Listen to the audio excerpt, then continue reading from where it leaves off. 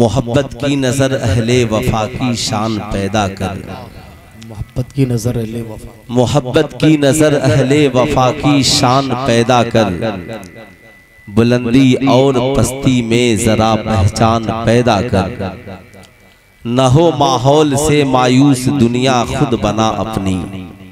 नई किश्ती नई आंधी नया तूफ़ान पैदा कर। मज़ा है मरने जीने का इन्हीं खतरों के दामन में दिलों में हौसले और हौसले में जान पैदा कर। नहीं तेरा नशीमन कसर सुल्तानी के गुंबद पर।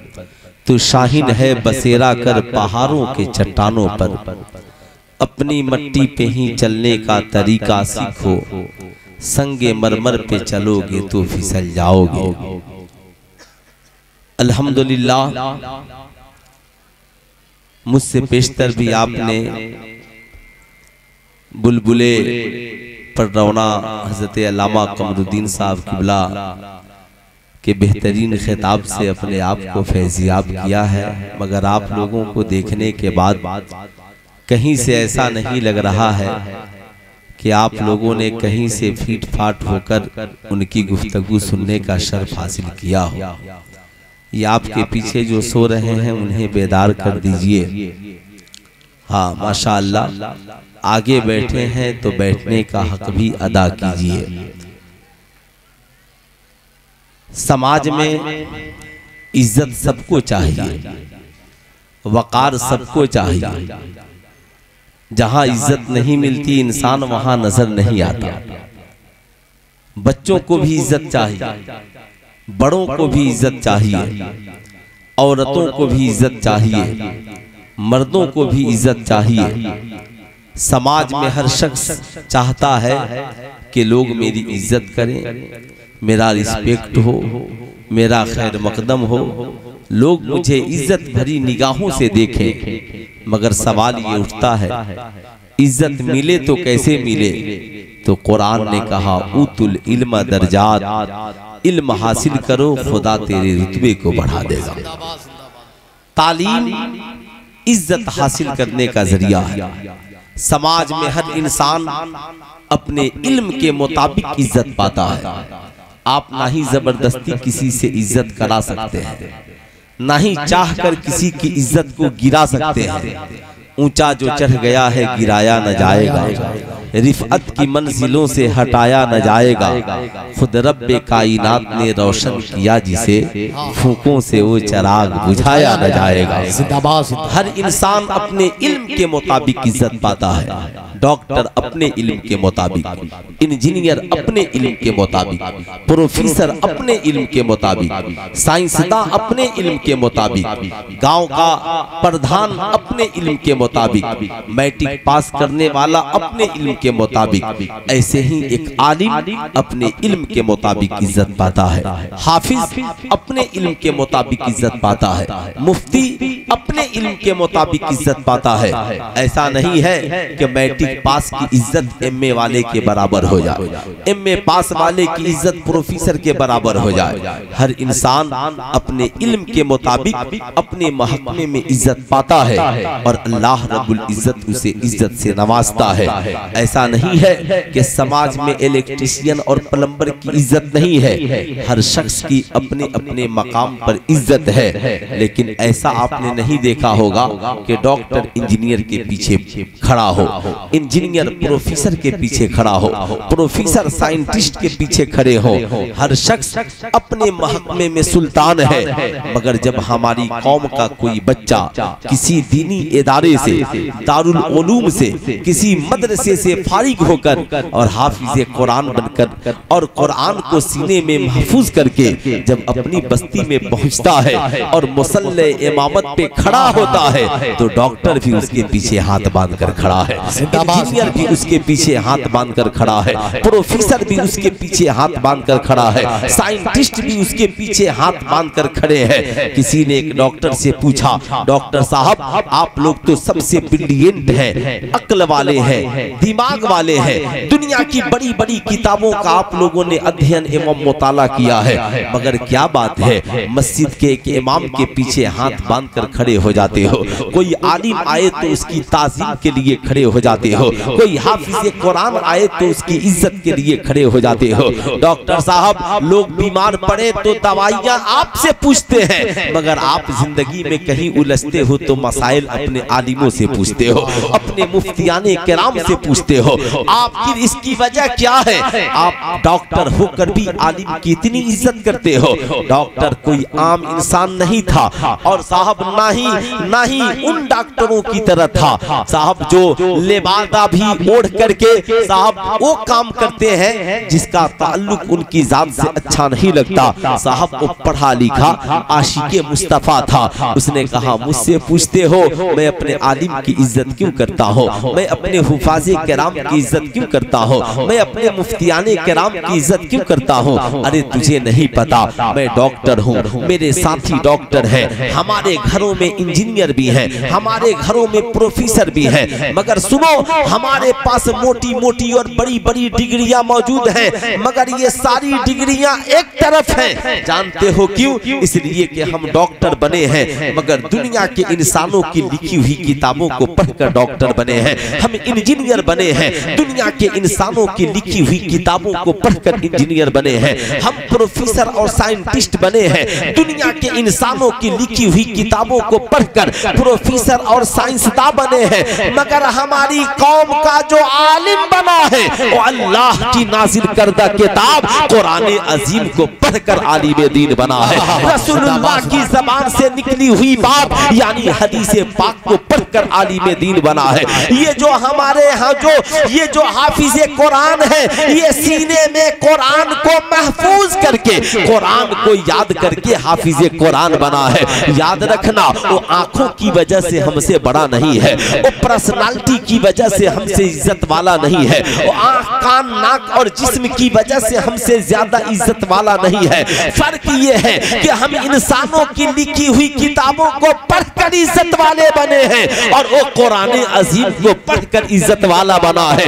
इसलिए दुनिया में किताबों में कोई किताब कुरान की तरह नहीं है। और इंसानों में याद रखना इज़्ज़त जो अल्लाह ने आलिमों को कुरान पढ़ने वालों को अता कर दी, वो इज़्ज़त बाज लोगों को हासिल नहीं है। इसलिए याद रखना, अल्लाह रब्बुल इज़्ज़त कुरान अजीम में इरशाद फरमाता है, हल यस्तविल्लजीना यालमून वल्लजीना ला यालमून? तुम क्या समझते हो? पढ़े लिखे और जाहिल दोनों बराबर है, ऐसा नहीं हो सकता। इसलिए समाज में आप चाहते हैं कि आपको इज़्ज़त मिले, मर्द हो, औरत हो, बच्चे हो, बूढ़े हो, जवान हो तो इज़्ज़त की एक ही राह है। रात भर मोबाइल चलाओ और सोचो लोग मेरी इज़्ज़त करें। रात भर मूवीज़ और फ़िल्में देखो। सोचो समाज में मेरी इज़्ज़त हो। तुम साहब जना और जुए और शराब के आदि बन जाओ। सोचो जमाना मेरी इज़्ज़त करे। तुम साहब न जाने कितने खुराफात करो और सोचो जमाना तेरी इज़्ज़त करे। कुरान कहता है नहीं, अल्लाह उसी को इज़्ज़त देता है जो इल्म हासिल करता है, जो तालीम याफ्ता होता है। एजुकेटेड लोगों को अल्लाह रब्बुल इज़्ज़त इज़्ज़त अता करता है। इसलिए मैं आपसे कहूँगा, खुद भी पढ़िए, अपनी औलादों को भी पढ़ाइए। यही वजह है हमारे उलमाए कराम इस साहब, इस अजीम इदारे को इसलिए चला रहे हैं ताकि यहाँ बच्चे आलिम दीन बने, बच्चे यहाँ पर हाफिज कुरान बने, बच्चे यहाँ पर कारी खुशलहान बने। आज लोग कहते हैं, मौलाना साहब ने क्या किया है? इन मौलवियों ने किया क्या है? साहब, ये मौलाना साहब लोग आखिर करते क्या है? मैं आपसे पूछना चाहता हूँ, ठीक है आप कहते हो, मौलाना साहब ने क्या किया है? लेकिन मैं भी आपसे पूछना चाहता हूँ, आपके हिसाब से आलिम साहब ने अपने इल्म के हिसाब से कुछ नहीं किया तो सिर्फ़ आलिमों का ही हिसाब क्यों करते हो? कभी डॉक्टर का भी हिसाब करो, कभी इंजीनियरों का भी हिसाब करो, कभी प्रोफेसरों का भी हिसाब करो, कभी अपनी कौम के अमीरों का भी हिसाब करो। आप किसी डॉक्टर से क्यों नहीं पूछते? आप कहते हो, आलिमों ने क्या किया है? इन हुफाजे कराम ने क्या किया है? इन बड़े बड़े इदारे चलाने वालों ने क्या किया है? मैं आपसे पूछना चाहता हूँ, समाज में कितने डॉक्टर हैं जिन्होंने आपके बच्चों को फ्री में पढ़ाकर डॉक्टर बनाया है? समाज में कितने इंजीनियर हैं जिन्होंने आपके बच्चों को फ्री में पढ़ाकर इंजीनियर बनाया हो? समाज में कितने प्रोफेसर हैं जिन्होंने फ्री में आपके बच्चों के लिए कोचिंग संस्था का इंतज़ाम करके आपके बच्चों को प्रोफेसर की डिग्रियाँ दिलाई हो? आप कहेंगे, नहीं मौलाना, हाल तो ये है कि एक महीना अगर फ़ी जमा नहीं हो तो बच्चे को कोचिंग सेंटर से भगा दिया जाता है। प्राइवेट स्कूलों से उनका नाम काट दिया जाता है। मगर आज तक कभी आपने सुना है कि मदरसे से गरीबी की वजह से किसी बच्चे को निकाल दिया गया हो। आज तक कभी आपने सुना है कि मदारी से इस्लामिया में पैसा की तंगी की वजह से किसी बच्चे का खर्चा कर दिया गया हो। नहीं, हमारा आलिम कहता है, ये बच्चा गरीब है, किसी कौम के अमीर से ताल्लुकात पैदा कर दो और ये तबलीग करते हैं। इसकी खिदमत करो। अल्लाह इसका अजर तुझे दुनिया में भी देगा और आखिरत में भी देगा। अब मुझे ठहर कर कहने दो, तारीख शाहिद है। आज तक किसी डॉक्टर, इंजीनियर, प्रोफेसर ने आपके बच्चों को फ्री में, हाफिज कुरान आपके बच्चों को फ्री में डॉक्टर, इंजीनियर और प्रोफेसर नहीं बनाया।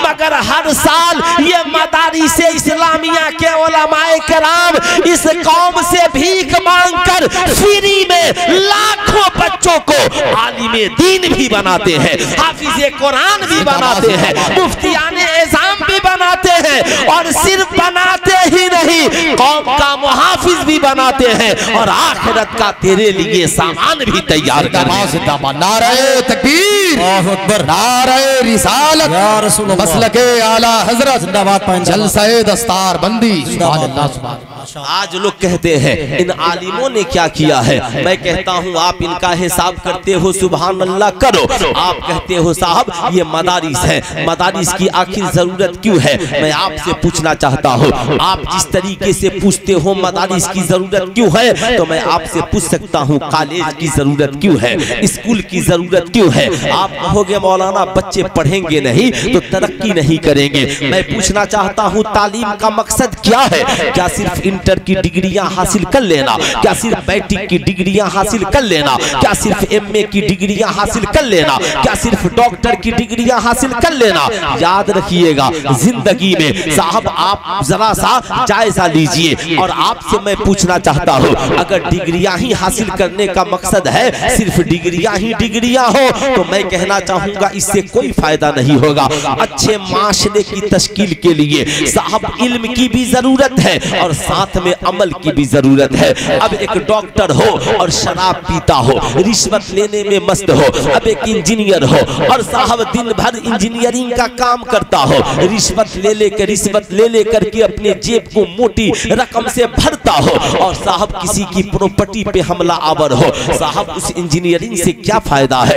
ज़ाहिर सी बात है, इल्म का असल मकसद ये है कि इंसान की ज़िंदगी में इल्म के ज़रिया इनकलाब आए। एक बच्चा जब मैट्रिक करे तो उसका असर उसकी ज़िंदगी में दिखे।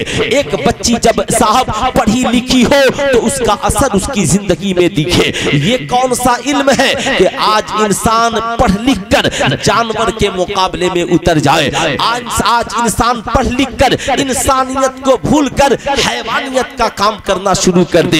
ये कौन सी डिग्रियाँ हैं साहब? आज matric pass, inter pass, BA pass, इतनी डिग्रियाँ आज हमारे समाज में है। मगर इंसानियत कहाँ है? जहेज का मांगना बंद नहीं हो रहा है। शराब खाने में हमारी कौम के नौजवान नज़र आ रहे हैं। साहब, लाखों नहीं, करोड़ों बच्चे हर साल मैट्रिक और इंटर करते हैं। मगर मैट्रिक इंटर करने के बाद भी वही चाले बेढंगी जो पहले थी, वो अब भी है। कल भी मोबाइल से रील्स बनाता था, आज भी बना रहा है। कल भी वो बेटी मैट्रिक इंटर से पहले नाचती थी और आज भी नाच रही है। सवाल ये उठता है, आप तो मदरसों का बहुत हिसाब करते हो। कभी स्कूलों में जाकर के देखो, पूछो, मेरी बेटी तो कॉलेज में आने से पहले सर पे दुपट्टा रखती थी, मगर कॉलेज में आने के बाद सर से दुपट्टा कैसे उतर गया?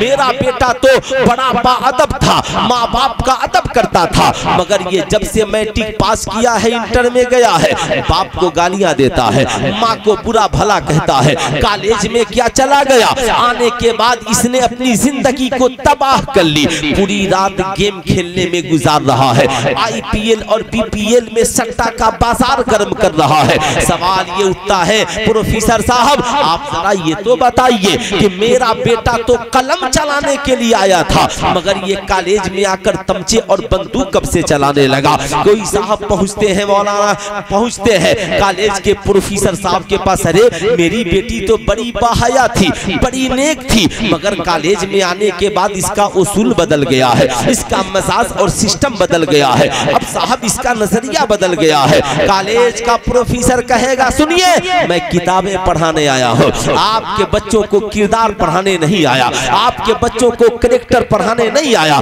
साइंस की घंटी में साइंस पढ़ाऊँगा। मैथ की घंटी में मैथ पढ़ाऊँगा। मैथ मैथ की घंटी में मैथ पढ़ाऊँगा। भूगोल और इतिहास की घंटी में भूगोल और इतिहास पढ़ाऊँगा। आपका बच्चा खाना कैसे खाएगा? हमें इससे बहस नहीं है। आपका बच्चा पानी कैसे पिएगा? हमें इससे बहस नहीं है। आपका बेटा माँ के कदम के नीचे जन्नत मानेगा नहीं मानेगा? हमें इससे बहस नहीं है। नतीजा ये निकला कि भारत में डिग्रियाँ तो बट गई मगर किरदार की कमी कल भी थी और करेक्टर की कमी आज भी है। यही वजह है डॉक्टर है मगर अच्छे नहीं है। प्रोफेसर है मगर किरदार अच्छा नहीं है। इंजीनियर और साहब बड़े बड़े फलासफर हैं मगर किरदारों करेक्टर से आ रही है। डॉक्टर है। शराब पीकर शादी में नाच रहा है। इंजीनियर है। और किरदारों करेक्टर से बुरा है। मास्टर बन गया आईपीएस अफसर बन गया। 20 लाख 25 लाख की गाड़ियाँ 30 लाख की लेकर शादी करता है। रिश्वत लेकर जिसे आज हम मरवजा तौर पे जहेज कहते हैं। मगर कसम खुदा की, हमारी कौम का एक बच्चा अगर मदरसे में पढ़ने के लिए चला आया तो हमारे ओलमा उसे कुरान भी पढ़ाते हैं, साथ में नबी का किरदार भी पढ़ाते हैं। अगर कौम की एक बच्ची किसी दीनी मदरसे में पढ़ने के लिए चली आई तो हमारी कौम की आलिमा उसे कुरान भी पढ़ाती है। साथ में सैयदा खातून जन्नत का किरदार भी पढ़ाती है। यही वजह है, लाखों डॉक्टर, इंजीनियर बनकर कौम में खड़े होकर कौम की भलाई फलाहो बहबूद की गुफ्तगू नहीं करते, मगर एक बच्चा किसी दीनी मदरसे से हाफिज कुरान बनकर जब अपनी बस्ती में पहुँचता है और जुमा के रोज मिंबर पे खड़ा होता है तो खिताब करता है लोगों, इस्लाम सच्चा मज़हब है, एक खुदा की इबादत करो। रसूलुल्लाह वसल्लम की पैरवी करो। शराब पीना हराम है, जुआ खेलना हराम है, जना करना हराम है, सूद खाना हराम है, जहेज मांगना हराम है। पंज वक्ता नमाज़ फ़र्ज़ है। आज के बाद झूठ न बोलना माँ बाप को न सताना। माँ के कदमों के नीचे जन्नत है, बाप जन्नत का दरवाज़ा है। खाने से पहले पड़ोसियों का ख्याल रखना, पीने से पहले पड़ोसियों का ख्याल रखना। कोई गरीब है तो उसकी मदद के लिए आगे बढ़ जाना। दूसरों की बहू बेटियों पे गंदी नज़रें न डालना। लाखों बच्चे डॉक्टर, इंजीनियर, प्रोफेसर बनकर आए। मगर कभी कौम से इस्लाह के हवाले से खिताब न किया। मगर एक बच्चा हाफिज कुरान बनकर आया है। मगर पूरे गाँव को बदलने की बात कर रहा है। पूरे गाँव में इनकलाब लाने की बात कर रहा है। ये सिर्फ़ उसकी वजह ये है, जिस माहौल से पढ़कर आया है। वो माहौल आवारगी वाला माहौल नहीं, रसूलुल्लाह के किरदारों करेक्टर वाला माहौल है। यही वजह है, याद रखे, एक है इल्म और एक है अमल। अगर सिर्फ़ इल्म हो और अमल ना हो तो ज़िंदगी बेकार है। इसलिए आलिम हो तो अमल की ज़रूरत है। हाफिज है तो अमल की ज़रूरत है। कारी कुरान है तो अमल की ज़रूरत है। डॉक्टर है तो अच्छे किरदारों करेक्टर की ज़रूरत है। इंजीनियर है तो अच्छे अखलाक की ज़रूरत है। ऐसे ही कौम की बेटियों, तुम भी याद रखना। ये मैट्रिक इंटर बीए और एमए ये करोड़ों डिग्रियाँ एक तरफ़। मगर अल्लाह के नबी ने जो फरमाया, अल हयाओ शोबतुम मिनल ईमान। हया ईमान का हिस्सा है, इसे लूटने न देना, हया की हिफाजत करना तो आबरू की हिफाजत करना, ताकि तू माशरे के लिए, जब ज़रूरत पड़े तो बाप की एक अच्छी बेटी बनकर बन सके, तू शवहर के लिए एक बेमिसाल बीवी बन सके और अपनी औलादों के लिए बेहतरीन माँ बन सके। जिंदाबाद जिंदाबाद सुभान अल्लाह सुभान ज़ाहिर सी बात है इल्म का मकसद क्या है? इल्म का असल मकसद यही है समाज में इनकलाब आए लोगों की ज़िंदगी में बदलाव आए यही वजह है इल्म के चराग को जलाया जा रहा है। साहब आज जो ये इदारे हैं अगर ये ना होते तो आज इल्म के चराग को कौन जलाता? याद रखिएगा साहब आज इसलिए सबको इस बात की फ़िक्र है वो जानते हैं कि लाखों बच्चे करोड़ों बच्चे डॉक्टर इंजीनियर प्रोफेसर बन जाए, इससे कोई बहुत ज़्यादा असर पड़ने वाला नहीं है। इसलिए कि डॉक्टर उधर भी है, इधर भी है। इंजीनियर उधर भी है, इधर भी है। प्रोफेसर उधर भी है, इधर भी है। वो जानते हैं कि अगर बस्ती का एक बच्चा अच्छा आलिम बन गया तो पूरे मोहल्ले को बदलने के लिए काफ़ी है। पूरे इलाके को बदलने के लिए काफ़ी है। इसलिए उनकी निगाहें उनकी निगाहें स्कूलों, कॉलेजों पे नहीं जाती। आज तक आपने किसी को सुना है कि कॉलेज से लड़की भाग गई कॉलेज को बंद कर दो। स्कूल से फला की बेटी भाग गई स्कूल को बंद कर दो। मगर मदरसे में अगर थोड़ी सी भी कहीं से कमी आ गई तो सब चिल्लाते हैं मदरसे में ताला लगा। अल्लाह अल्लाह।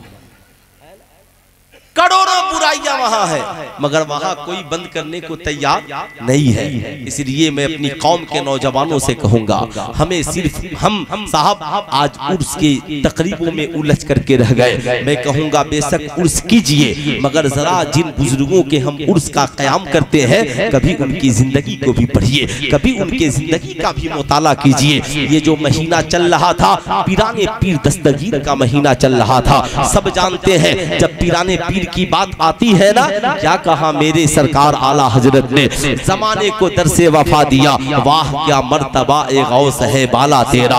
ऊँचे ऊंचों के सरों से है कदम आला तेरा। सर भला कोई क्या जाने है कैसा तेरा।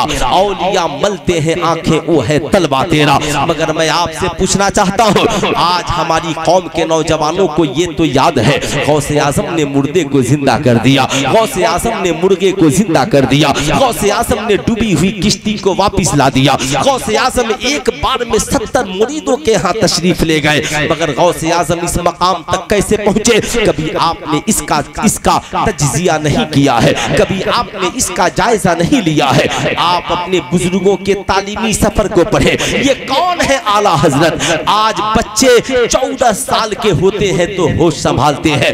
बीस, बाईस साल, पच्चीस साल की उम्र में आलिम दीन, हाफिजे आलिम दीन बनते हैं। मुफ्ती वक्त बनते हैं, लेकिन सरकार सरकार आला हज़रत कौन है, जो तेरह साल की उम्र में बने हैं तो आलिम ही नहीं, बल्कि मुफ्ती वक्त बन करके निकले हैं। आप सोचे जरा सा आपको कभी जायजा ले, हमारी तो आदत सिर्फ़ ये है, हम उर्स की तकरीबों में गए, चादरें चढ़ाए और चले आए। मैं अपनी कौम की बेटियों से भी कहूँगा, आपका भी मिजाज वही है, मुहर्रम आया तो बीबी फातिमा का फातिहा। सुबहान अल्लाह, खूब कराइए मगर कभी सैयदा खातून जन्नत की सीरत भी पढ़िए कभी उम्मुल मोमिनीन सैयदा आयशा सिद्दीका की ज़िंदगी का भी मुताला कीजिए। आइए मैं आपको सरकार गौसे आज़म की ज़िंदगी का एक गोशा बताता हूँ। उसके बाद हमारी कौम के बच्चों को फैसला करना है। हम खा पी कर पढ़ने वाला बनेंगे या गुरबती की वजह से पढ़ाई छोड़कर भाग जाने वाला बनेंगे।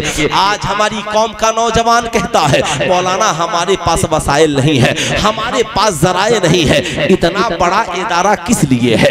इतनी बड़ी इतनी बड़ी बिल्डिंग और इमारत किस लिए है? आपने इस इमारत को महदूद करके क्यों रखा है? आप इसे फरोग दीजिए। आप मिलजुल कर इसे इतना मज़बूत कीजिए कि यहीं से बच्चे जहाँ अच्छा आलिम बन रहे हैं, यहीं पर हमारी कौम के बच्चों की दूसरी तालीमी जरूरियात भी पूरी हो जाए। आपने इन मदारिस को सिर्फ़ ये समझ लिया। मदरसे की तालीम का मकसद सिर्फ़ ये नहीं है जैसा हमने सोचा है।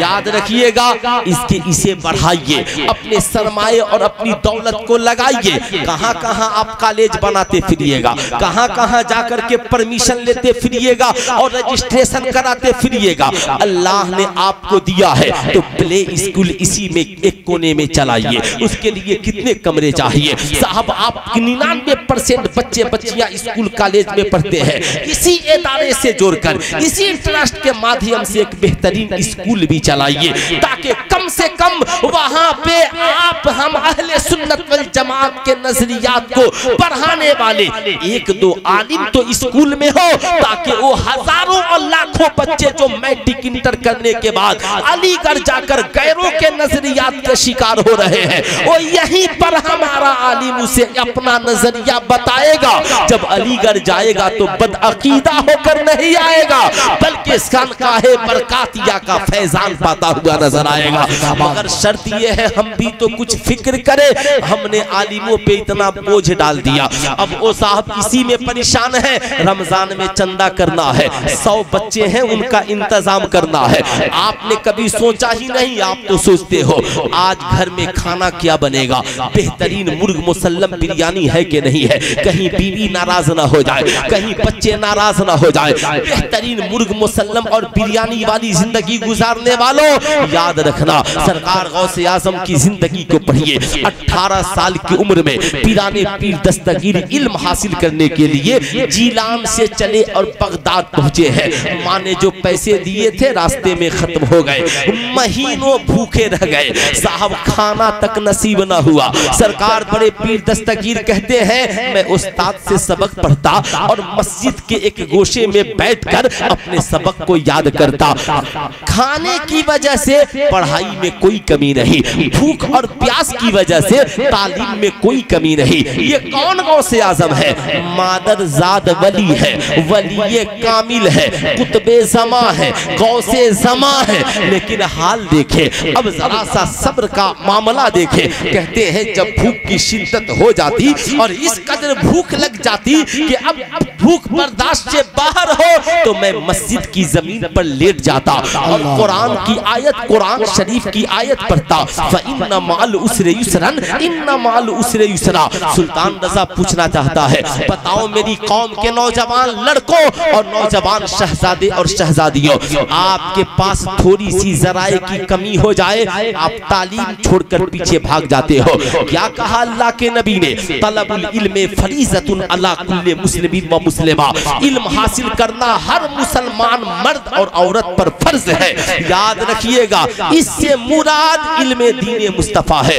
यानी हर हर मुसलमान के पास इतनी तालीम हो कि वो ये जाने अच्छा क्या है, बुरा क्या है, हलाल क्या है, हराम क्या है, नमाज़ का तरीका क्या है, वज़ू का सलीका क्या है, गुस्ल का तरीका क्या है, तहारत के मसाइल क्या है, रोज़े के मसाइल क्या है, अमीर है तो जक़ात के मसाइल, अमीर है तो हज के मसाइल, जैसे जैसे जैसे जरूरियात हो, वैसे वैसे मसाइल का जानना आपके लिए कंपलसरी है, ज़रूरी है। लेकिन याद रखिएगा, आलिम बनना फर्जे के पाया है। समाज एक अच्छे समाज को ज़िंदा रखने के लिए एक अच्छे आलिम की ज़रूरत है। आलिम होगा तभी तो बताएगा, सेठ जी, ये हलाल है, ये हराम।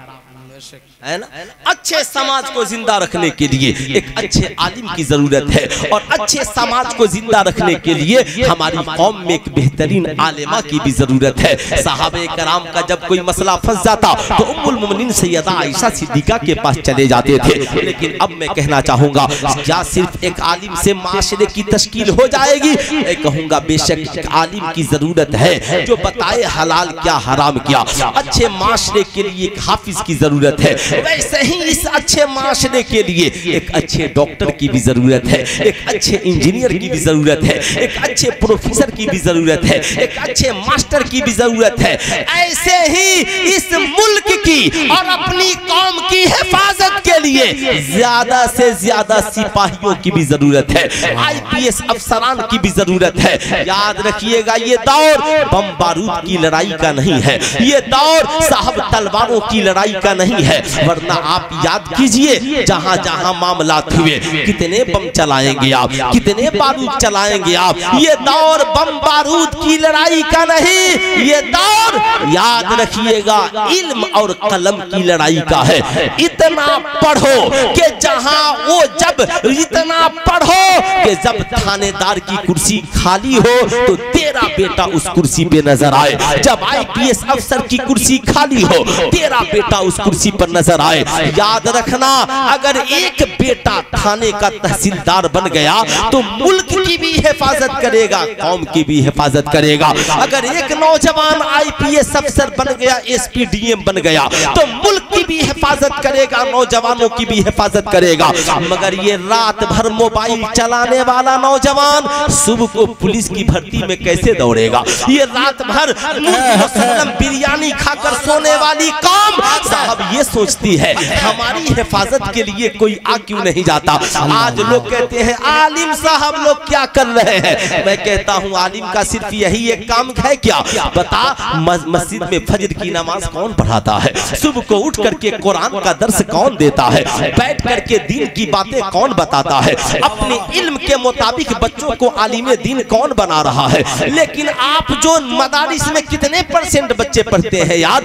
एक परसेंट बच्चे भी मदरसे में नहीं पढ़ते मगर निन्यानवे परसेंट बच्चे जो स्कूल में पढ़ते हैं कॉलेज में पढ़ते हैं मैं पूछना चाहता हूँ वो निन्यानवे परसेंट क्या कर रहे हैं? उनका रिज़ल्ट कहाँ? उनकी कोई ज़िम्मेदारी नहीं है। जब चाहा नाच लिया गा लिया। जब चाहा कान में बाली पहन ली, हाथ में कड़ा पहन लिया, जब चाहा कमर तक चोटी बढ़ा ली, बाल बढ़ा लिया, शादी ब्याह में गया तो मिलाद के बाद मजदूर डीजे पे नाचा और औरतों को नचवाया। साहब, यही काम इस समाज में इन लोगों का रह गया है। सवाल ये उठता है, ये एक परसेंट जो मदरसे हैं, मदारिस इस्लामिया में जो बच्चे पढ़ते हैं, इनकी सबको फ़िक्र है। अरे मौलाना साहब, आप लोग साइंस क्यों नहीं पढ़ाते हैं? इंग्लिश क्यों नहीं पढ़ाते हैं? मैथ क्यों नहीं पढ़ाते हैं? मैंने कहा, ये बात बड़ी पुरानी थी कि मदरसे के आलिम इंग्लिश नहीं जानते थे। ये बात बहुत पुरानी हो गई कि मदरसे के बच्चे कंप्यूटर नहीं जानते थे। ये बात बड़ी पुरानी हो गई। इस वक्त बिहार के स्कूलों में जाएँगे ना तो उर्दू टीचर के जगह पे अक्सर मदारी से इस्लामिया के बच्चे मिलेंगे। आप बाप साहब उत्तर प्रदेश की बनारस यूनिवर्सिटी में चले जाइए। वहाँ पर अगर उर्दू का कोई प्रोफेसर मिलेगा तो अलजामतुल अशरफिया मुबारकपुर का पढ़ा हुआ एक आदमी दीन मिलेगा मैं आपसे पूछना चाहता हूँ आप कहाँ हो? बताओ अपना हिसाब दो। तो मैं अपनी कौम के नौजवानों से कहूँगा निकलो अंधेरे से। निकलो। मैं ये नहीं कहता निकलो अंधेरे से। बदलो अपने मिजाज को। और ये जो मोबाइल को तुमने लंबे लंबे मोबाइल को अपना साथी बना लिया है ना अभी कटिहार में एक साहब मुझ पे नाराज़ हो गए। कहा आप जमात रजाए मुस्तफ़ा के ए, सिवान के सदर है और आपने क्यों नहीं इन वीडियो और चैनल वालों को मना किया? मैंने कहा कहाँ कहाँ हम लाठी लेकर के घूमे? ज़ाहिर सी बात है हम तो मना करते ही कि ये वीडियो की ज़रूरत नहीं है। साहब वीडियो की ज़रूरत नहीं इस कौम को किताब की ज़रूरत है। बताइए। आपसे मैं पूछना चाहता हूँ, बताओ। मुस्तफ़ा जाने रहमत सल्लल्लाहु अलैहि वसल्लम जब इस खाके गीती पर तशरीफ़ ले आए तो उनका साथी कौन बनकर आया? सिर्फ़ नौजवान, सुने। कौन बनकर के आया उनका साथी? क्या कोई इंसान बनकर आया? क्या कोई फरिश्ता बनकर आया? तो अलमाई कराम कहेंगे नहीं मौलाना कद जाकुम मिनल्लाहि नूरुम व किताबुम मुबीन। सुभान अल्लाह, सुभान अल्लाह। सरकार का साथी कोई ज़मीन पर उनके साथ आया है साथी बनकर आया है तो वो कुरान अजीम बनकर आया है। यानी किताब नबी का साथी बनकर के आया है। इसलिए मैं आपसे कहूँगा, छोड़ो मोबाइल की दुनिया को और किताब को अपनी ज़िंदगी का साथी बनाओ। मोबाइल इस्तेमाल ही करना है ना तो मूवीज़ देखने के लिए नहीं, साहब चैटिंग के लिए नहीं फेसबुक के लिए नहीं इंस्टाग्राम के लिए नहीं शॉर्ट वीडियोस बनाने के लिए नहीं। इस मोबाइल का इस्तेमाल करना है तो किताबें पढ़ने के लिए क्यों नहीं करते? किताबों के मुताला के लिए क्यों नहीं करते? उस मोबाइल में चाहो चाहो तो कुरान पढ़ सकते हो। उस मोबाइल में चाहो तो बुखारी पढ़ सकते हो। उस मोबाइल में चाहो तो हदाय के बख्शिश पढ़ सकते हो। उस मोबाइल में चाहो तो कंजुल ईमान पढ़ सकते हो। उस मोबाइल में चाहो तो तुम inter matric B M A की तैयारी की किताब तैयारियों की किताबें पढ़ सकते हो। इसलिए मोबाइल का मिसयूज न करो। मोबाइल का इस्तेमाल किताब पढ़ने के लिए करो। खबरों खैरियत के लिए करो। ज़रूरी मेल के लिए करो। ज़रूरत के लिए उसका इस्तेमाल करो। ताकि नज़रिया सही हो, तुम्हारा इखलाक सही हो, तुम्हारा किरदार सही हो। मैं अपनी कौम के नौजवानों से कहूँगा, अल्हम्दुलिल्लाह, हम लोगों का ताल्लुक अहले सुन्नत वल जमात से है। हमारे यहाँ हज़ारों उर्स की तकरीबें होती है। लाखों करोड़ों लोग हर शख्स मुरीद है कहीं ना कहीं से। मगर आप कभी उस खानकाह की तारीख उठा करके पढ़े। अगर कोई कछौचा शरीफ से मुरीद है तो तनहा मखदूम सिमना के वालिद गिरामी ने सिमना में अपनी हुकूमत में एक हज़ार मदारिस बनवाए थे। आप अगर कोई बरेली शरीफ से मुरीद है तो सिर्फ़ आला हज़रत की ज़िंदगी देखे। जितनी रोटियाँ नहीं खाई आला हज़रत ने उससे ज़्यादा किताबें लिखी है बरेली के अहमद रजा ने। आप साहब मुरीद हैं। अगर आप मुरीद हैं तो हुजूर हाफिज मिल्लत की ज़िंदगी को पढ़िए। अगर आप मुरीद हैं ना हाफिज मिल्लत की ज़िंदगी को पढ़िए। उन्होंने अपनी ज़िंदगी के लिए बहुत बड़ी हवेली नहीं बनाई बल्कि इस कौम की हिफाजत के लिए अल जामियतुल अशरफिया मुबारकपुर जैसी यूनिवर्सिटी बनाई है। नारे तकबीर। नारे तकबीर। नारे रिसालत। नारे रिसालत। मदारी से अरबिया। मदारी से अरबिया। नारे तकबीर। नारे रिसालत। मुफ्ती सुल्तान रजा साहब किबला। जिंदाबाद। नारे तकबीर। नारे रिसालत। आप कलकत्ता और उड़ीसा चले। मैं जानता हूँ बहुत सारे लोगों की तबीयत नहीं लग रही है। रात के 12 बजने वाले अभी तक इस कौम को टहलने से फुर्सत नहीं है। इस कौम को घूमने से फुर्सत नहीं है। ये कौम यही समझ रही है कि ये जलसे भी तफरी गाह है। अरे मियाँ, ये जलसे इसलिए नहीं है। कभी तो सबक लिया करो कि एक झूठ बोलने वाला बाबा आता है तो करोड़ों बैठकर गर्मी में जल मर कर सुनते हैं। मगर यहाँ हक बोलने वाले लाखों आलिम आते हैं। मगर हमारी कौम खड़ी रहती है। और उसके बाद ये बैठकर फैसला करती है। मौलाना तकरीर जमा नहीं पाए। मौलाना ने बहुत घन गरज खिताब नहीं किया। बहुत बड़े स्पीकर की ज़रूरत थी। बहुत बड़े खतीब की ज़रूरत थी। ये तो वही बात हो गई कि कोई आला हज़रत के जमाने में कहे गौसे आज़म की ज़रूरत थी। गौसे आज़म के जमाने में कहे हज़रत मौला अली की ज़रूरत थी। नहीं साहब जो आपके पास आलिम है उन्हें गनीमत समझ के इस नियत से उनकी बातें सुने कि आलिम बोल रहा है अपनी बात नहीं आमेना के लाल की बात है। इसलिए तो सुने आखिर अब तक खड़े होकर के घूमने का क्या माना है? आखिर क्यों लोग खड़े हैं? अराकीन जलसा से भी मैं कहूँगा उनसे एक बार मोहब्बत से पूछिए साहब अगर आप जलसा में आए हैं तो खड़े होने की क्या आवश्यकता है? ये कुर्सियाँ खाली हैं बैठ जाइए। ज़ाहिर सी बात है अगर यही हालात हमारे जलसों के हैं यही हालात उर्स की तकरीबों के हैं आप उड़ीसा चलिए कलकत्ता चलिए। फ़ोन आएगा ना तो उड़ीसा वाले आपसे कहेंगे, कितना नजराना लीजिएगा मौलाना? प्लेन से आना तो आप एक बार बोलिएगा ना कि हम ड्यूटी वाले आदमी हैं तो फ़ौरन कहेगा तो टेंशन क्या है? शाम की फ़्लाइट पकड़ के आ जाइए, सुबह की फ़्लाइट पकड़ के पटना चले जाइए, वहाँ से बेहतरीन कार लेकर के चले जाइए। साहब, सारी सुविधाएँ मौजूद है।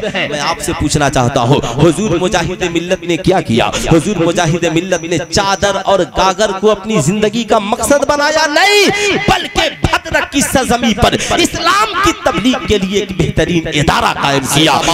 साहब ये सलेमगढ़ की सरजमी पर बनाने वाला जो भी बनाया हो अल्लाह उसकी मरकत पे रहमत अनवार की बारिशें करे। उसने अपने लिए जाती मकान नहीं मगर कौम की फलाह बहबूद के लिए कादरिया रजविया जैसा अजीम इदारा बनाया है। अब ये आपकी ज़िम्मेदारी है आप इस इदारे को कितना इस्तेमाल करते हैं। लेकिन सुनिएगा हमने सिर्फ़ उर्स को मेला, झमेला और ठेला बना करके रख दिया है।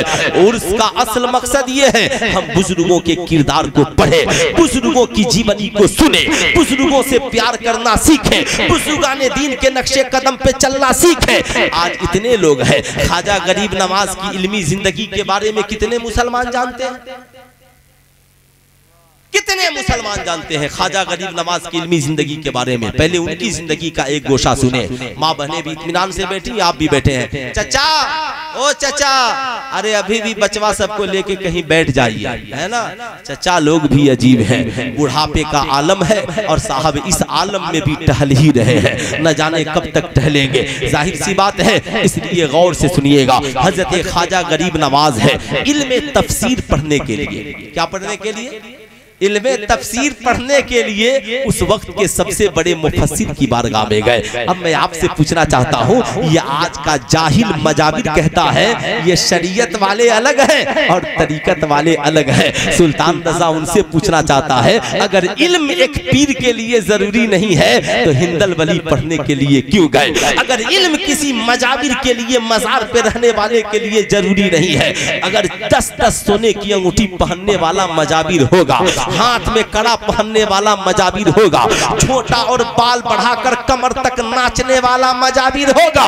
तो याद रखिएगा, सेवाए बदनामी के कुछ हासिल होने वाला नहीं है। साहब ये अपने किरदारों, करेक्टर से अहले सुन्नत वल जमात को बदनाम कर रहे हैं। क्या इस्लाम में खुदा के अलावा किसी का सजदा जायज़ है? मोहब्बत का मतलब ये नहीं है। आला हज़रत ने क्या कहा? पेशे नज़र ओ नौ बहार सजदे को दिल है बेकरार, रोकिए सर को, रोकिए हाँ यही तो इम्तहान है।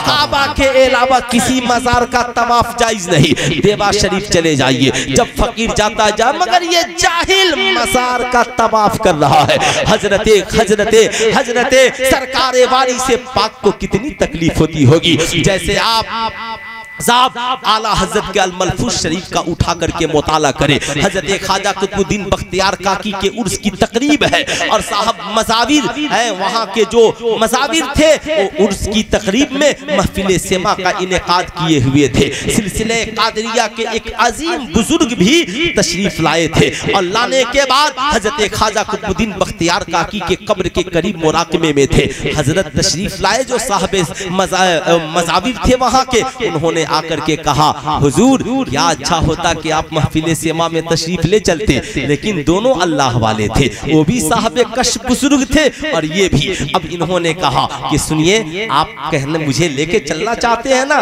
पहले हज़रत से पूछ लीजिए कि हज़रत इससे खुश है कि नाराज़ है? अल्लाह अल्लाह अल्लाह। हज़रत इससे खुश है कि नाराज़। नाराज़ है। उन्होंने फ़ौरन मुराकबा किया। ये आज के जाहिल मजाविरों की बात नहीं कर रहा हूँ जो चर सफीम गांजा पी पी करके मजाविर बना है। दस रुपया नहीं मिले तो किसी पे हाथ डाल देता है। मौलवी मौलाना को तो देखकर पागल हो जाता है। कहता है इन मौलवियों से चादर बेचने की उम्मीद मत रखो।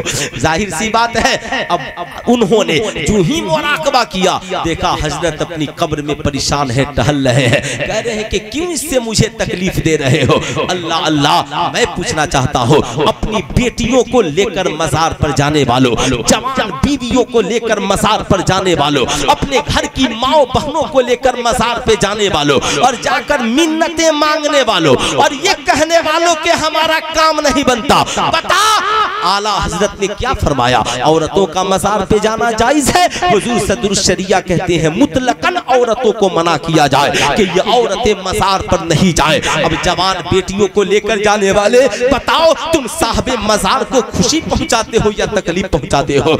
जवान बीवियों को लेकर जाने वालों, बताओ, तुम साहब मजार को खुशी पहुंचाते हो या तकलीफ़ पहुंचाते हो? ये इस्लामी मिजाज नहीं है, ये इस्लामी कल्चर नहीं है, ये गैरों का मेला झमेला है, जहाँ झूला लगे, जहाँ पे डांस हो, जहाँ पे बियर बार चले, जहाँ पे औरतें सस सवर कराएँ और महफिल की जीनत बने। इस्लाम कहता है, औरत का हुस्न उसके शौहर के लिए है, औरत की जीनत उसके शौहर के लिए है। ये सारी बातें तब होगी जब हमारी कौम की बेटियाँ सीरत आयशा सिद्दीका को पढ़ेंगी। सीरत सैयदा खातून जन्नत को पढ़ेंगी। अब मैं कहना चाहूँगा, ख्वाजा गरीब नवाज़ सबसे बड़े मुफस्सिर की बारगाह में पहुँचे। कहा, हुजूर, पढ़ने के लिए आया हो। वो भी अल्लाह के वली थे, बहुत बड़े मुफस्सिर थे, मस्जिद के इमाम भी थे। कहा, शहजादे आ तो गए हैं, मगर मेरे पास वक्त नहीं मेरे पास वक्त नहीं है। कहा हुजूर कोई वक्त दे दे कहा आप मोइनुद्दीन पढ़कर ही जाएँगे। कहा हुजूर आया बहुत दूर से हूँ पढ़ा दिया जाए। कहा एक वक्त है क्या आप उस वक्त तैयार हैं। कहा हुजूर जहे नसीब जो वक्त मिल जाए। जहे नसीब जो वक्त मिल जाए। कहा एक वक्त है। कहा, हुजूर कौन सा वक्त है? मुझे इनायत कर दे। कहा, मैं ईशा की नमाज़ पढ़कर खाकर सो जाऊँ और फिर मैं नमाज़ तहजद के लिए बेदार हूँ और नमाज़ तहजद पढ़ लूँ तो क्या आप उस वक्त पढ़ने के लिए तैयार हैं सुभान अल्लाह सुभान अल्लाह वाह, वाह। बताओ मेरी कौम के नौजवानों नमाज़ तहज्जुद जानते हो? जो कौम पाँच वक्त की नमाज़ अब नहीं पढ़ती वो नमाज़ तहज्जुद के बारे में तो ये सोचना भी हमारे लिए बेवकूफ़ी ही है। लेकिन मैं कहूँगा नहीं ईशा की नमाज़ के बाद जब इंसान नमाज़ पढ़कर सो जाता है फिर बेदार होकर जो रात की तन्हाई में सिर्फ़ रब की रजा के लिए हम जो नमाज़ पढ़ते हैं उसे नमाज़ तहज्जुद कहते हैं। हज़रत ख्वाजा गरीब नमाज़ कहते हैं। मेरे उस्ताद मुझे मंजूर है हज़रत ख्वाजा गरीब नवाज़ का आलम हाल ये था। हर रोज उस्ताद के उठने से पहले बेदार हो जाते। खुद वज़ू करते। उस्ताद के वज़ू के लिए पानी रखते। दो मुसल्ला बिछाते एक तरफ़ उस्ताद नमाज़ तहज्जुद पढ़ रहा है। एक तरफ़ शागिर्द नमाज़ तहज्जुद पढ़ रहा है। पढ़ाने वाला भी तहज्जुद गुजार है। पढ़ने वाला भी तहज्जुद गुजार है। जब मोइनुद्दीन पढ़कर बने हैं तो सिर्फ़ मुफस्सिर ही नहीं बल्कि साहब हिंदल वली बन गए हैं। जमाने की निगाहों ने देखा है। इसलिए मैं आप अपनी कौम के नौजवानों से कहूँगा इन रातों को जाये न करो इन रातों को बेकार न जाने दो। अब गौर से सुनना सरकार बड़े पीर दस्तगीर है। 18 साल की उम्र में पढ़ने के लिए गए हैं। भूख प्यास की शिद्दत है। महीनों महीनों खाना नहीं मिलता। भूख जब ज़्यादा सताए तो मस्जिद की ज़मीन पर लेट कर कुरान की आयत पढ़ते। माल उसरे इन्ना माल उसरे युसरा। अल्लाह अल्लाह कहते हैं कि एक रोज मैं बयाबान में बैठकर फ़िक्र के सबक को याद कर रहा था। अल्लाह अल्लाह सबक ही तो याद कर रहा था। इतने में गैब से आवाज़ आई, अब्दुल कादिर, उठो और कुव्वते लायमूत के लिए कर्ज ले लो। यानी इतनी ताकत तुम्हारे जिस्म में आ जाए कि तुम्हें मौत वाके ना हो। इतनी कर्ज ले लो। हज़रत सरकार बड़े पीर दस्तगीर कहते हैं, मालिको मौला अब्दुल कादिर के पास तो एक अच्छा जुब्बा भी नहीं है। अब्दुल कादिर कर्ज लेगा तो अदा कहाँ से करेगा? आवाज़ आती है अब्दुल कादिर, कर्ज लेना तेरा काम है, अदा कर देना मेरा काम है। सरकार बड़े पीर दस्तगीर कहते हैं, मैं उठा और उठने के बाद नानबाई की दुकान पर गया, जो रोटियाँ बनाता था। मैं जब उसके करीब गया और उससे कहा कि सुनो, मुझे कर्ज लेने का हुक्म है। क्या तुम मुझे कुछ कर्ज दोगे? नानबाई के आँखों में आँसू आ गए। वो भी खुदा वाला था। उसने कहा हुजूर आपको मैं कर्ज दूँ? मैं भी आपका हूँ ये रोटियाँ भी आपकी है। सरकार बड़े पीर दस्तगीर ने कहा ऐसे नहीं लूँगा। कर्ज दोगे तभी लूँगा। मगर एक शर्त है अगर ज़िंदा रहा कुछ हासिल हो गया तो अदा कर दूँगा। अगर मौत आ गई तो मुझे माफ़ कर देना। क्या सलीका है कर्ज मांगने का क्या तरीका है कर्ज मांगने का अल्लाह अल्लाह उसने कहा, हुजूर, मुझे सारी शर्तें मंजूर है। कहा, मंजूर है तो रोज़ाना रब की रेसा के लिए डेढ़ रोटियाँ मुझे कर्ज दे देना। आधी सुबह को, आधी दोपहर में, आधी रात में मैं आज अपनी कौम के नौजवानों से पूछना चाहता हूँ, आप चाहे स्कूल में पढ़ते हो या मदरसे में पढ़ते हो, आज पोजीशन ये है, नाश्ता अच्छा नहीं, मदरसा छोड़कर चल दिए। अगर कॉलेज में पढ़ने वाला है, अगर थोड़ी सी तबीयत खराब हुई, बाप गरीब है, पैसा सौ, दो सौ कम दे कॉलेज छोड़कर भाग आते हो। आपसे मैं पूछना चाहता हूँ, क्यों? आप ये सोचते हो कि साहब पैसे कम है, हम नहीं पढ़ेंगे। बाप को ताना देते हो, मेरा बाप भिखारी है, पढ़ाता नहीं। मेरी माँ ने मेरे लिए कुछ नहीं किया। मदरसे में खाने का निज़ाम अच्छा नहीं था, इसलिए चला आया। मैं कहूँगा, नहीं नहीं, आओ सरकार, बड़े पीर दस्तगीर की ज़िंदगी को देखो। हुक्म हुआ कर्ज लेने का तो डेढ़ ही रोटियाँ मांगी है। आधी सुबह, आधी दोपहर, आधी शाम। जमाने को दर से वफा दिया है। कभी भूख की वजह से तालीम न छोड़ना, कभी गरीबी की वजह से तालीम न छोड़ना। अल्हम्दुलिल्लाह, इस वक्त हर जगह इतनी सहूलतें मौजूद हैं कि सिर्फ़ हमारी कौम के बच्चे दिल लगाकर पढ़ना शुरू कर दे।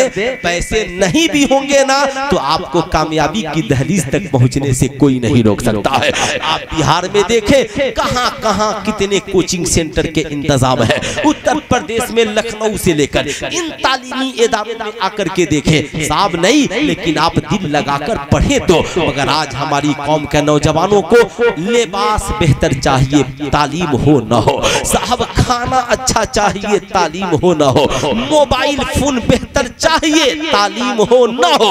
मगर याद रखना, न मोबाइल तेरी ज़िंदगी में इनकलाब ला सकता है, न बेहतरीन जुब्बा और अमामा तेरी ज़िंदगी में इनकलाब ला सकता है। ना ही बेहतरीन कपड़ा और खाना और मकान तेरी ज़िंदगी में इनकलाब ला सकता है। अगर तेरी ज़िंदगी में कुछ इनकलाब ला सकता है तो वो तालीम है, एजुकेशन है, शिक्षा है। मालूम है ये डेढ़ रोटियाँ कर्ज लेकर पढ़ने वाला, अब्दुल कादिर जब पढ़कर बना है तो सिर्फ़ आलिम नहीं, आलिमों का इमाम बन गया है, इमामुल मुफस्सिरीन बन गया है, इमामुल मुहद्दिसीन बना है। बना है तो वली ही नहीं वलियों का सुल्तान बन गया है। ऐलान करता है मेरा कदम तमाम वलियों के गर्दन पर। तो बरेली से सरकार मुफ्ती आज़म हिंद पुकार उठे। खिला मेरे दिल की कली गौसे आज़म। कल्ब की बेकली गौसे आज़म। ये दिल ये जिगर है ये सर और आँखें। जहाँ चाहो रखो कदम। गौसे नारे तकबीर नारे रिसालत। फैजाने गौसे आज़म, जलसे दस्तार बंदी, नारे तकबीर सुभान अल्लाह अल्लाह अल्लाह, मैं पूछना चाहता हूँ, बताओ, बड़े पीर दस्तगीर के नाम से हम लोग फातिहा कराते हैं कि नहीं कराते? अरे हाथ उठा करके बोलिए। सब कराते हैं जितने लोग कराते हैं, सिर्फ़ वही हाथ उठाए, है ना? हाथ उठाएँ, माशाल्लाह, सब कराते हैं, अब हाथ नीचे रख ले। कभी आपने अपनी औलादों को बैठा कर फातिहे वाली बिरयानी तो खूब खिलाई? बोलिए मैं गलत बोल रहा हूँ। न्याज वाला खाना तो खूब खिलाया आपने। हमारी माँ बहने ने बड़ी पाकिजगी के साथ सब कुछ बनाया। मुर्गा अच्छा वाला था कि नहीं था। चावल बेहतरीन है कि नहीं है? कच्चा पक्का तो नहीं है। लेकिन कभी उस औलाद को बैठाकर ये भी तो बताते ऐ मेरी औलाद जिस गौस के जिस गौस के फातिहे का तुम लंगर खा रहे हो ये गौ से डेढ़ रोटियाँ कर्ज लेकर जब पढ़े तो सिर्फ़ आलिम नहीं आलिमों के इमाम बन गए है ना? साहब आपने कभी बताने की कोशिश की? आपने कभी अपनी कौम की बेटियों से कहा ऐ मेरी कौम की बेटियों सुनो हम लोग जिस पीर बड़े पीर दस्तगीर के मानने वाले हैं उनकी माँ का किरदार क्या था? उनका करेक्टर क्या था? आज हमारी कौम की बेटियाँ कहती हैं मौलाना हमारा जिस्म हमारी मर्ज़ी। हम जो चाहे करें आपको क्या प्रॉब्लम है? आपका क्या जाता है। मैं कहता हूँ, ठीक है भाई? जिसम आप क्या, मर्ज़ी आपकी। ये सारी बातें इसलिए हो रही हैं कि यहूदियों की साजिशें निगाहों के सामने। यहूदियों की बेटियाँ छोटी छोटी रील्स बना करके आज इंस्टाग्राम और फेसबुक पर चला रही है कि माई लाइफ माई चॉइस यानी मेरी ज़िंदगी मेरी इच्छा और मेरी ख्वाहिश के मुताबिक गुजरेगी।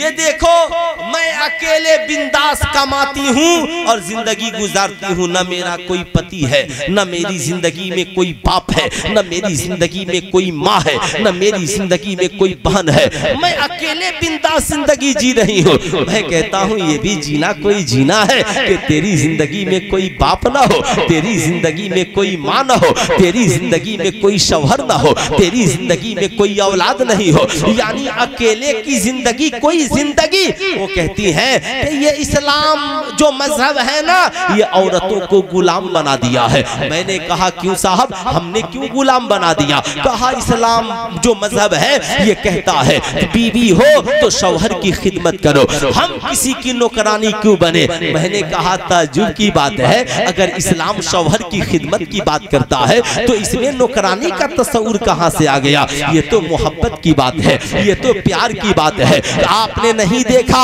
अगर जितने लोग भारत के प्लेन में सफ़र करते हैं, आप साहब प्लेन में जब सफ़र करते हैं तो चार लड़कियाँ मिलकर ढाई सौ यात्रियों को खाना खिलाती है, पानी पिलाती है। एक बार बटन दबाइएगा, दौड़ कर आ जाएँगे। क्या चाहिए? वाटर चाहिए टी चाहिए, खाना चाहिए, नाश्ता चाहिए, क्या चाहिए? साहब, जो मांगो मिलेगा। आप कुछ भी बोले, साहब, उन्हें कोई फ़र्क नहीं पड़ता। है किसी की औकात जो उन लड़कियों को कह दे कि ये प्लेन में हवाओं में उड़कर जो खिला रही है, ये प्लेन में बैठे हुए यात्रियों की नौकरानी है। कह दोगे, साहब, जेल हो जाएगा। तेरे ऊपर मुकदमा दर्ज होगा, दर्ज किया जाएगा। तेरे ऊपर मुकदमे चलाए जाएँगे। कहेंगी, नहीं, हम तो खिदमत की भावना से करते हैं। यानी हम खिदमत की नीयत से करते हैं। ये हमने जो पेशा लिया बनाया है, ये हम खिदमत और ये नौकरानी का पेशा नहीं है। ये तो हमारी मोहब्बत है कि हम मैट्रिक इंटर करके भी लोगों की सेवा में लगे हुए हैं। सवाल ये उठता है, आप गौर से सुनिएगा, सवाल ये उठता है, अगर पढ़ी लिखी लड़कियाँ हवा में अजनबी मर्दों को चाय पिलाएँ तो ये सेवा है। और निकाह के बाद बीवी शवहर को चाय पिला दे तो ये नौकरानी की पहचान है। ये कहाँ का इंसाफ है?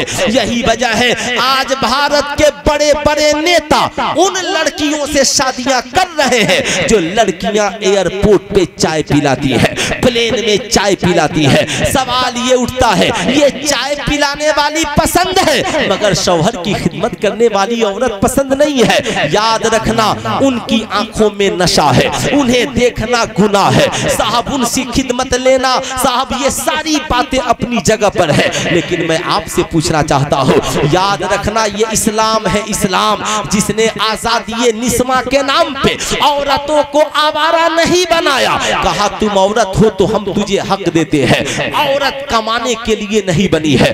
मर्द को कमाने के लिए बनाया गया है। और औरतों को घर की मालकिन बना दिया गया है। मर्दों को जिम्मेदार बनाया गया है। यही वजह है हमारा आलिम जब निकाह पढ़ाता है तो कहता है, माँ, नानो, नफका वो सुकना के तेरी जौजियत में दिया। यानी याद रखना ये दैन महर तो अपनी जगह है, मगर ये नानो नफका वो सुकना नान माने रोटी, नफका माने खर्चा और सुकना माने रहने की जगह। अब जो ये बेटी तेरे निकाह में दी जा रही है, आज के बाद इसे खिलाना तेरी ज़िम्मेदारी, इसका खर्च उठाना तेरी ज़िम्मेदारी, इसके लिए मकान बना करके देना तेरी ज़िम्मेदारी। मगर आज इतनी आवारगी आ गई कि हमारी कौम का नौजवान बीवी की ज़रूरत पूरी करने के बजाय उसे कहता है तेरा बाप कमा कर रख कर गया था। बताओ इसे नफरत की दीवार नहीं फैलेगी तो क्या फैलेगी? मगर वाह रे इस्लाम तेरा जवाब नहीं है। इस्लाम ने कहा औरतों इधर आओ। बेटी हो तो बाप के लिए रहमत बना दिया है। बीवी है तो शौहर के लिए मोहब्बत बना दिया है। और माँ है तो इस्लाम ने उसके कदमों के नीचे जन्नत बिछा जिंदाबाद जिंदाबाद सुबह सुबह जन्नत बिछा दी है। इसलिए मैं कहूँगा आज जो औरतें कहती हैं हमारा जिस्म हमारी मर्ज़ी मैं कहता हूँ क्या मर्ज़ी है? तुम यही चाहती हो ना सर से दुपट्टा उतर जाए चुस्त लिबास पहनकर घूमो गैरों की तरह तुम भी नाचो गाओ कोई बोलने वाला नहीं हो। मैं कहता हूँ बड़ा नाज है तुझको अपने जिस्म पर बड़ा नाज है तुझको अपने जिस्म पर बड़ा गुरूर है। तो हर बच्चा बच्ची पैदा होने से पहले नौ माह तेरी गोद में रहते हैं। अगर बड़ा गुरूर है। तो एक ऐसी औलाद को जन्म दो, जो दुनिया में बाद में आए, वन से हंड्रेड पेट में पहले, का गया पेट में पहले, अलिफ से या पेट में पहले, वन से हंड्रेड पेट में पहले। कहेंगे, नहीं मौलाना, हमारे पास कोई ऐसा सिस्टम नहीं है कि हम बच्चे को पेट में पढ़ाएँगे। मैंने कहा, यही सिस्टम तो इस्लाम के पास है, यही सिस्टम तो मज़हब हक के, हक्का के पास है। तुम्हें पता नहीं है, जिन औरतों ने कहा, मेरा जिस्म मेरी मर्ज़ी, वो नाचने में लगी रही। उरियानियत फैलाने में लगी रही बेहयाई और बुराई में लगी रही। वो अपने आप को नहीं संभाल पाई, वो औलादों को क्या संभालेगी? मगर जिस गौ से आज़म की माँ ने कहा था, मौला, ज़िंदगी मेरी है, सीरत रसूलुल्लाह की है मेरी है फातिमा जहरा की है। मौला, ज़िंदगी मेरी है, मगर किरदार रसूलुल्लाह की शहजादी की है। उस माँ ने अपने बेटे, शेख अब्दुल कादिर जीलानी को दुनिया में जन्म बाद में दिया है। पेट में ही पंद्रह पारा का हाफिजे कुरान। नारे तकबीर। नारे रिसालत। फैजाने गौस आज़म। जिंदाबाद पाइंदाबाद। मसलके आला हज़रत। जिंदाबाद जलसे दस्तार बंदी जिंदाबाद इसलिए मैं आपसे कहूँगा उर्स मनाते हैं मनाइए मगर अपनी माँ बहनों को उन बुज़ुर्गों के माओ का किरदार बताइए। उन बुज़ुर्गों के माँ माओ और बहनों का किरदारों करेक्टर कभी सुनाइए। इसलिए मैं आपसे कहूँगा आप साहब बस एक से दो बात फिर मेरी तकरीर खत्म। अल्हम्दुलिल्लाह हुजूर गाजी मिल्लत खतीबुल हिंद गाजी इस्लाम हज़रत अल्लामा गुलाम रसूल साहब किबला बलियावी वो भी तशरीफ़ ला चुके हैं। इसके बाद अलहाज मुबारक हुसैन मुबारक साहब की धमाकेदार शायरी सुनिए खूब जम थम कर फिर हज़रत की तकरीर जम थम करके सुनिए अपनी ज़िंदगी में इनकलाब लाइए फिर अपने घरों को जाइए। मेरी दो बातें कौम के हर नौजवान याद रखे आपसे मैं गुजारिश करूँगा। नेताओं से साहब पाँच सौ और हज़ार रुपए के नाम पे अपने वोट मत बेचिए। आप साहब ये सड़कें मत मांगिए। आप अपनी नेताओं से कहिए कि हमारे इन मदरसों में हमारे इन मदरसों में कौम की आज बेटियाँ जदीद तालीम के नाम पर साहब गैरों के कोचिंग में जाकर इज़्ज़त तो आबरू का सौदा कर रही है। मुर्तद हो रही है। क्यों नहीं तुम? सीसीटीवी कैमरा की निगरानी में अपने ही मदारिस के एक गोशे में इन लड़कियों के लिए अलग एजुकेशन पॉइंट बनाते हो। क्यों नहीं इन बच्चों के आईपीएस पीपीए और साहब बनाने के लिए यूपीएससी और बीपीएससी की क्वालिफाई के लिए इन बच्चों की कामयाबी के लिए एजुकेशन पॉइंट बनाते हो। क्यों नहीं आर्मी और पुलिस में बहाली के लिए कोई एजुकेशन पॉइंट कायम करते हो? क्यों नहीं सुबह को उठकर तुम सड़कों पे दौड़ते हो? कभी सुबह को गैरों के मोहल्ले से गुजरोगे ना तो पूरा खानदान दौड़ रहा है। और यहाँ हमारी कौम का नौजवान साहब इतना खा करके मस्त है ना कि इसे साहब पेट में गैस इतना है कि चला क्या जाएगा? साहब हाथ से परेशान, पाँव से परेशान। ये बुलेट चमकाने से इसको फुर्सत नहीं है। हाथ में बुलेट है, एक हाथ में सिगरेट है है ना? दो चार गो सेल्फी लिया, बाप सऊदी अरब में कमा रहा है और ये उस दौलत का मिसयूज कर रहा है। एक बार भी नहीं सोचता कि बाप कितनी मुशक्कत से कमा रहा है। मैं कहूँगा, बदलिए अपने नज़रिए को और अपने मुल्क के अपने नेताओं से कहिए, हमें दौलत नहीं चाहिए, ये पाँच सौ हज़ार देकर पूरे गाँव की वोट मत खरीदिए। अगर आप हमारी तरक्की के लिए कुछ कर सकते हैं तो कोई एजुकेशन पॉइंट जिसकी हमें ज़रूरत है, वो कायम कर दीजिए। हमारे बच्चों की नौकरी की पहल के लिए कुछ कोशिश कीजिए हमारे रिजर्वेशन के लिए आप कुछ ऐलान कीजिए। हम लोग बहुत दिनों से लेकिन आप लोग का तो हाल ये है कि जहाँ इलेक्शन आया कोई 500 में बिक रहा है कोई हज़ार में बिक रहा है कोई दो हज़ार में। मौलवी मौलाना साहब की कौन सुनने वाला है? हम लोगों की काहे के लिए सुनिएगा? ये तो मजबूरी है कि कभी कभी आप लोग सुन लेते हैं वरना ये भी सुनने के लिए आप तैयार नहीं है। आज याद रखिएगा आज हमारी कौम आज यही वजह है आपने अपने बच्चों को दीन से नहीं जोड़ा, आलिमों से नहीं जोड़ा। आप उन्हें पढ़ाइए, स्कूल, कॉलेज, सब, लेकिन आलिमों से जोड़ कर रखिए। साहब, ज़िंदगी की इस्लाह के लिए बड़े जलसे की ज़रूरत नहीं है। आप अपने घर में कभी किसी अच्छे आलिम को भी बुलाकर अपने, अपनी औलादों को दिन सिखा सकते हैं। सिखा सकते हैं। बहुत बड़ी कॉन्फ्रेंस की ज़रूरत नहीं है। पर्दा लगाकर बेटियों को बैठा दीजिए, एक तरफ़ खुद बैठ जाइए। कि आलिम साहब, आज हमारी औलादों को कुछ नसीहत कर दीजिए। बुलाइए। लेकिन आपके पास तो इसकी फुर्सत नहीं है। चाय की होटल में बैठकर सारी दुनिया की शिकायत की फुर्सत है। लेकिन हम कभी इसके लिए वक्त कहाँ निकालें? आज साहब सोशल मीडिया पे लिखने वालों की तादाद की कमी नहीं है। जो यहाँ नहीं बोलता वहाँ बोलता है। सबसे ज़्यादा लिखना फेसबुक और इंस्टाग्राम पर आसान है। लेकिन कहीं पे किसी की किसी के माथे पे और किसी के दिल पे लिख देना और इसकी ज़िंदगी को बदल देना ये बड़ा काम है ये जो कराम यहाँ पे बैठ कर दरसगाहों में बच्चों की किताबें ज़िंदगी लिख रहे हैं और पढ़ा रहे हैं ये असल काम है। ये दीन से जोड़ना लोगों को अच्छाई की तबलीग करना। आज हमारी कौम का नौजवान क्या समझता है? ये समझता है? कि मैं जो कमाता हूँ ये सब मेरा है। देखिए ये एक बड़ी जिहालत। मैं जो कमाता हूँ सब मेरा। हमारी पढ़ी लिखी बीवियाँ भी समझती हैं कि मेरा शौहर जो कमाता है ये सब मेरा है। लेकिन मैं कहूँगा ना एक नौजवान आका की बारगाह में पहुँचा अर्ज़ गुजार हुआ या रसूलल्लाह मेरे माँ बाप बाप पर कुर्बान। आका जी ये बताया जाए मर्द के ऊपर पहला हक किसका है? अल्लाह के नबी ने फरमाया तुम्हारी माँ का। नौजवान ठहर गया काका जी अब किसका कहा तुम्हारी माँ का? फिर ठहर कर पूछा आका जी अब किसका कहा तुम्हारी माँ का? चौथी बार गुजार हुआ आका जी अब किसका कहा तुम्हारे वालिद का? तुम्हारे वालिद का। आला हज़रत से पूछा गया हुजूर बताया जाए मर्द कमाए तो क्या करे? कहा सौ रुपए कमाए तो पचहत्तर माँ को दे दे। और पच्चीस बाप को दे दे। इसलिए कि सरकार ने तीन बार माँ का ज़िक्र किया है और एक बार बाप का ज़िक्र किया है। एक बार बाप का ज़िक्र किया है। मगर आज अफसोस बूढ़ी माँ परेशान है। बेटा ज़िंदगी मस्त गुजारने में विदेश में लगा है। बूढ़ा बाप दवा और, और इलाज के लिए तरस रहा है। और साहब ये नौजवान अपनी ज़िंदगी की मस्ती में लगा है। याद रखना मेरी कौम के नौजवानों आज यही वजह है। हम डॉक्टर इंजीनियर प्रोफेसर बनकर भी ज़िंदगी में कामयाब नहीं है। इसलिए कि हमारे साथ हमारी माँ नहीं है। हमारी ज़िंदगी में हमारे वालिद की दुआएँ नहीं है। जब ईद का रमज़ान का मुबारक महीना आता है बूढ़ी माँ फ़ोन करती है बेटा कुछ पैसे भेज दे तेरे अब्बा के लिए कपड़े लेने हैं। तेरी बूढ़ी माँ को इलाज के लिए पैसे चाहिए। तेरा एक छोटा भाई है उसे कपड़े लेने हैं। तो आज की औलाद कहती है अम्मा फ़ोन रख दे।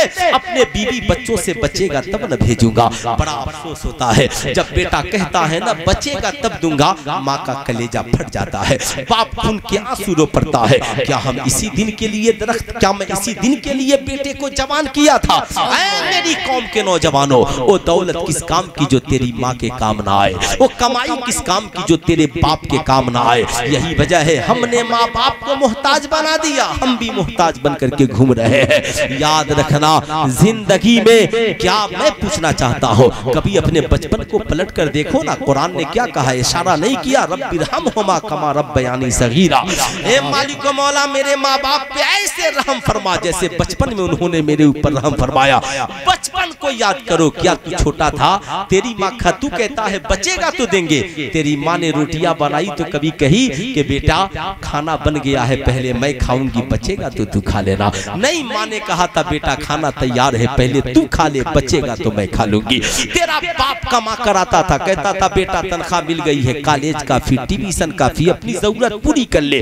बचेगा तो बाप अपनी ज़रूरत पूरी करेगा। मगर आज अफसोस वही बाप बीमार पड़ता है। एक बाप चार औलादों को, उसकी ज़रूरत के मुताबिक किसी को डॉक्टर, इंजीनियर, प्रोफेसर, मास्टर जिसे जितना पैसे की ज़रूरत पड़ी देकर बना दिया। मगर वही बाप आईसीयू में भर्ती है तो औलादे मीटिंग कर रही है। सारे भाई बराबर बराबर दो। अरे तेरे बाप ने तुझे बराबर खिलाए थे क्या? जिसे दस की ज़रूरत थी, दस दिया, चार की ज़रूरत थी, चार दिया। ये जेहालत नहीं है तो और क्या है? मेरी कौम का नौजवान आज के जलसे से पैगाम लेकर जा। बाप आईसीयू में भर्ती हो, माँ बीमार हो, किसी का इंतज़ार न करना, दौड़ जाना। डॉक्टर साहब, इलाज कीजिए, जो पैसा लगेगा मैं हो। तेरी बीवी कहेगी, सब तू ही देगा, और औलादे नहीं है। कहना, खामोश रहो। जब मेरा बाप अकेले कमा कर मुझे डॉक्टर बना सकता है तो मैं अकेले कमा कर अपने बाप का इलाज भी करा सकता हूँ। याद रखना, इस्लाम ने औरतों को भी हक दिया और माओ को भी हक दिया। इसलिए आज के बाद दिल्ली रहो, मुंबई रहो, कलकत्ता रहो। आज के बाद जब कमाना ना तो उस माँ को न भूलना। सारी दुनिया तेरी कमाई खाकर सो जाती है। रात की तनहाई में अगर तेरे लिए कोई आंचल फैलाता है तो तुम्हारी माँ फैलाती है। कौन फैलाती है? पूरा मजमा हाथ उठा करके बोल दे, कौन फैलाती है? आवाज़ ऊँची आनी चाहिए। कौन फैलाती है? माँ फैलाती है। अल्लाह अल्लाह बाप तेरे लिए अपने हाथों को फैला देता है। जब माँ सुनती है ना कि बेटे ने फ़ोन किया माँ कितने पैसे की ज़रूरत है तो माँ खुश हो जाती है। बाप कहता है सुनो कहना पहले अपनी ज़रूरत पूरी कर ले बचे तो भेज देना। याद रखना आज के बाद दिल्ली मुंबई कलकत्ता कहीं रहो। कमाओ तो सबसे पहले फ़ोन अपनी माँ को करना। अम्मा तुझे कितने पैसे की ज़रूरत है?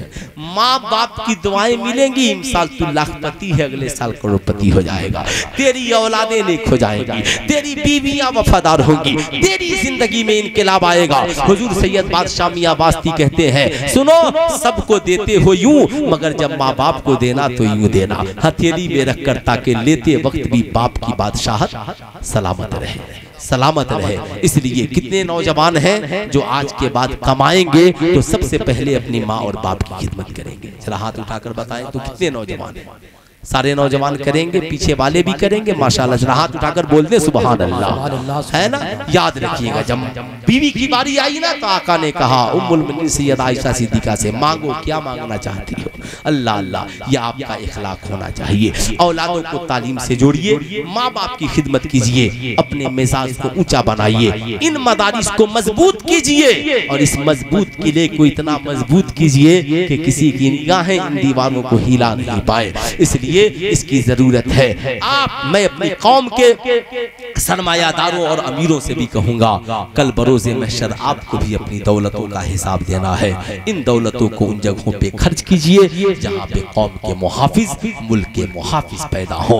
याद रखिए, समाज में अगर इज़्ज़त चाहते हैं तो उतुल इल्म दर्जात, इल्म हासिल करो, खुदा तेरे रुतबे को बढ़ा देगा। मालिक मौला की बारगाह में दुआ है। अल्लाह रब्बुल इज़्ज़त हमें और आपको। कहने सुनने से ज़्यादा अमल की तोफीक अता फरमाए। पूरा मजमा मिलकर पढ़ लीजिए। अस्तगफिरुल्लाह रब्बी मिन कुल्ली ज़म्बी व अतूबु इलैह। पढ़ लीजिए ला इलाहा इल्लल्लाह मुहम्मदुर रसूलुल्लाह सल्लल्लाहु अलैहि वसल्लम। अस्सलाम